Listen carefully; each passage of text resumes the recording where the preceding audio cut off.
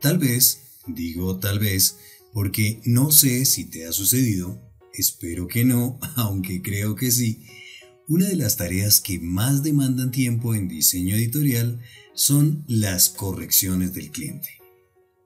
En un mundo perfecto, el cliente debería entregar el texto final de la publicación.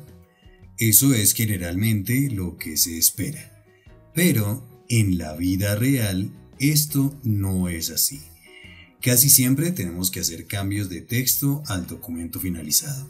Y bueno, eso lleva tiempo y a veces más tiempo del presupuestado.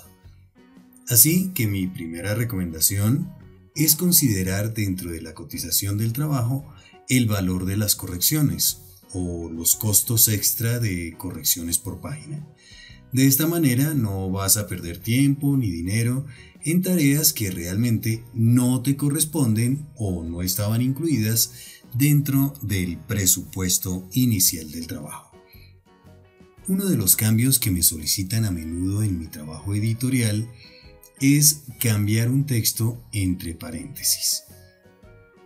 Veamos este caso donde se pide que todos los textos que aparecen entre paréntesis queden en itálica. Para evitar hacer esta tarea manualmente, es decir, buscando, seleccionando y cambiando cada uno de los textos entre paréntesis, podemos utilizar el comando de búsqueda y reemplazo. Veamos. Abrimos el panel Buscar cambiar. En este cuadro de diálogo tenemos tres opciones de búsqueda de texto. Texto literal, grep y pictogramas. Solo por probar, intentemos hacer una búsqueda de texto literal de lo que aparece entre paréntesis. Aquí buscaríamos un paréntesis y luego, mm, bueno, una letra, varias letras, o una palabra, o varias palabras. No, parece imposible. Bueno, en realidad en las búsquedas literales de texto no es posible hacer este tipo de búsquedas. Así que vamos a ver las posibilidades que nos ofrecen las búsquedas de texto avanzadas o búsquedas grep. Para comenzar vamos a buscar un paréntesis de apertura. Pero no lo podemos digitar simplemente así en el campo buscar, ya que en grep existen 8 caracteres que equivalen a código de búsqueda. Entonces, si queremos buscar cualquiera de estos caracteres, simplemente anteponemos un backslash al carácter. De esta manera, la búsqueda de un paréntesis quedaría así. Sigamos. Necesitamos ahora encontrar el carácter después del paréntesis. Damos clic en el botón de la arroba y seleccionamos comodines cualquier carácter. Fíjate que el punto es otro de los caracteres reservados para código. Cuando digitamos un punto en el campo buscar, estamos refiriéndonos a cualquier carácter. La pregunta aquí puede ser, ¿por qué no cualquier letra?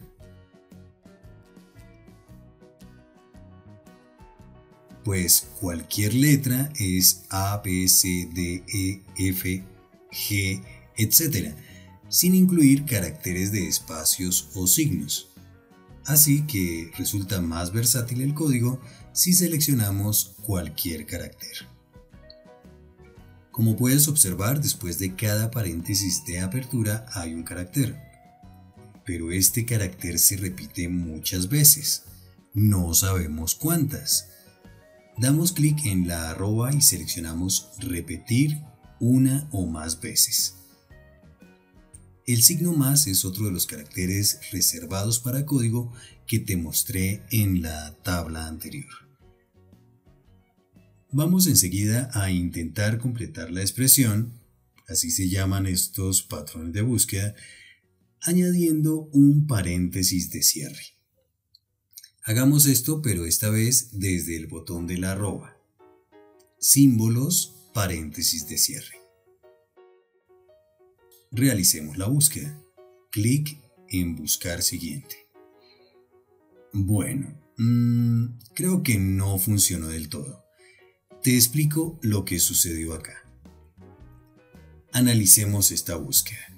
Le estamos pidiendo a InDesign que encuentre un paréntesis de apertura, seguido de cualquier carácter que se repita una o más veces hasta que encuentre un paréntesis de cierre. Y eso es lo que hizo. Así es la programación. Necesitamos entonces limitar la búsqueda. Borramos el signo más y desde la arroba activamos repetir una o más veces coincidencia más corta. Aquí nuevamente aparece otro de los caracteres reservados para código, el signo de interrogación. Hagamos nuevamente la búsqueda y bien, funciona perfecto. El paso final sería definir qué queremos hacer con el texto encontrado. Generalmente el texto encontrado no se reemplaza por otro, simplemente se le aplica un estilo de carácter. Dejamos entonces el campo Cambiar a vacío y damos clic en la sección Cambiar formato y escogemos un estilo de carácter. En este documento no tengo ningún estilo de carácter creado, así que voy a crearlo rápidamente aquí.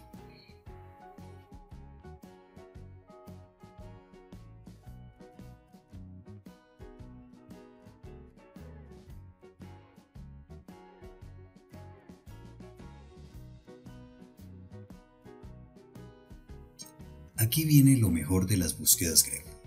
Escucha con atención. No tienes que memorizar este código. Sucede que puedes guardar este patrón de búsqueda para usarlo en cualquier documento. Simplemente das clic en Guardar consulta y listo podrás acceder a este patrón de búsqueda cuando quieras. En el próximo video de InDesign voy a explicar cómo encontrar texto entre paréntesis pero sin incluir los paréntesis. Así que si no te lo quieres perder, pues suscríbete a mi canal y activa la campanita para que no se te pase.